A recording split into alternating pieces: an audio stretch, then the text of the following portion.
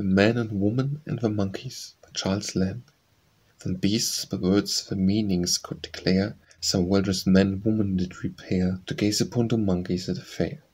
And one who was the spokesman of the place said, In court Norse you might plainly trace The likeness of the good old man's face. His observation none impeached or blamed, But the man and woman when 'twas named Drew in their head, or slunk away ashamed. One monkey, who had more pride than the other, His infinite charm could scarcely smother, And Pug the wiser said unto his brother, The slights and coolness of his human nation Should give a sensible ape no mortification. thus they always serve the poor relation.